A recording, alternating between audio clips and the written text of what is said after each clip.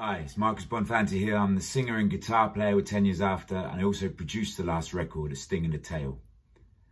I mean, the guys thought it might be fun to give some of you guitar players a chance to play with 10 Years After, uh, so we thought maybe we'd let you have a blow over Land of the Vandals, uh, which is the first track of A Sting in the Tale.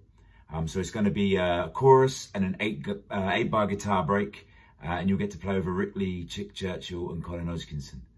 Uh, so yeah, I'll play it first. I'll play what I played on the record. Uh, using the gear I used on the record, that's this Gibson uh, SG from 1974.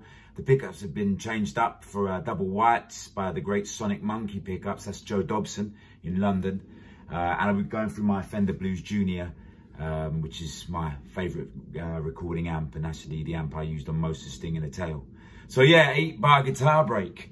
not easy. Uh, you don't want to say too much, you don't want to say too little, but we're really looking forward to hearing what you do say.